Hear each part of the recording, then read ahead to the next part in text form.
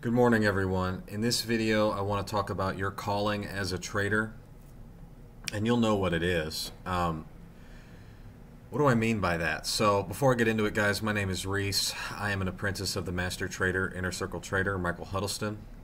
Um, I believe in algorithmic theory. I believe that the markets are controlled by high frequency trading algorithms, and um, well, there you go.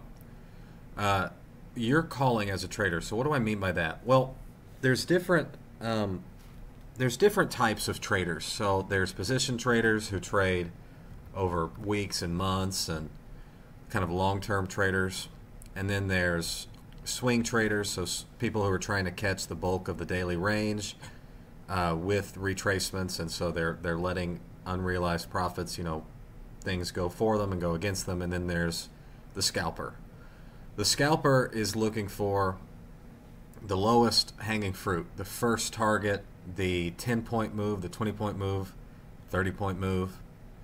The scalper is the active day trader. And you will know if you if you try trading professionally, if, if you want to try to do this, you will figure out uh, what your calling is, and you need to listen to that.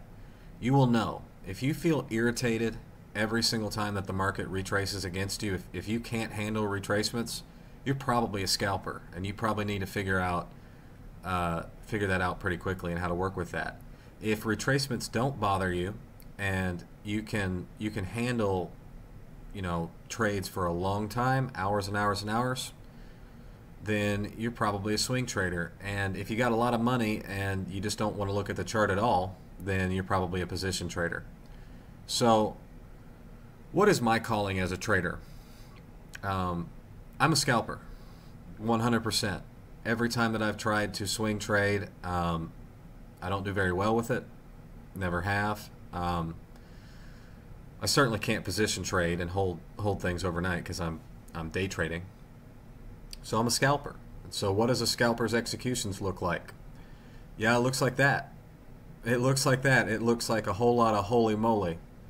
Uh, and that's because it's what it's what scalping looks like, guys. It's it's ten points, it's twenty points, it's thirty points in the on the Nasdaq. It's it's aim it's aiming for the first targets. You know, it it's looking at very short term intervals and trying to realize profit quickly. Now, why do I know that that scalping is is my calling as a day trader? Because I can't. I hate I hate not realizing profit. Every time that the the the thing retraces against me, I am irritated. And I like being in and out of the market. Um, I see things from both sides. I'm not particularly caring which which side of the market that I'm on. I'm not inherently biased. And I like the short, quick, like quick money. Uh, that's what I like. And so in order to in order to scalp, I've brought down my contracts to trade. You'll notice I trade one contract at a time.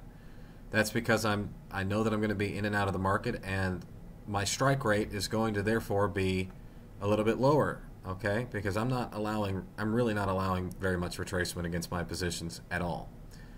Um, I don't care. You know, there are there are sacrifices that you will you will learn to make. You will have to make once you figure out what your calling is. If you want to be a swing trader, you will have to sacrifice a lot of intraday volatility. And that's just a fact. If you want to be a scalper, there's going to be times that and I know this, what is what what is my sacrifice as a scalper? What am I sacrificing? I'm going to miss some big runners. That's just a fact. I know that. I'm going to miss some things where the market moves 50, 60, 70 points. But I know that going in. That's my expectation.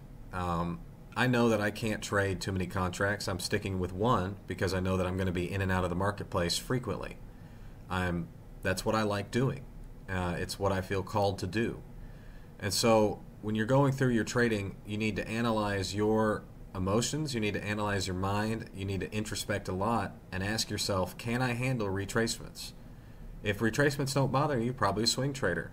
If you are like me and every single time that the market moves against you, you're pissed, Um, every time that you see a position goes goes into profit and then you don't realize it in your account and you're pissed, you're probably a scalper. Uh, but with scalping, there comes uh, a lot of skill is required. Frankly, uh, a great amount of skill is required, um, and you're going to miss some big runners. That's just a fact. You're gonna you're not going to catch every time the market moves cleanly 70 points, 100 points down. You just won't.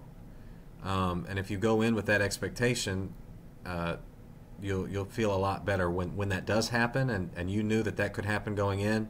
It won't bother you so much.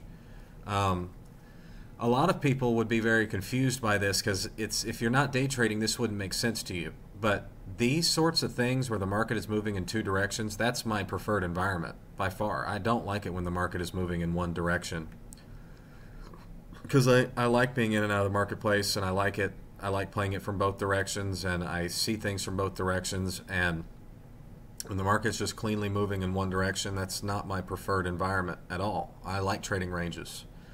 Um, I like, I just do. Uh, and, I, and I like being in and out of the market. So I know that my calling as a day trader is to be a scalper.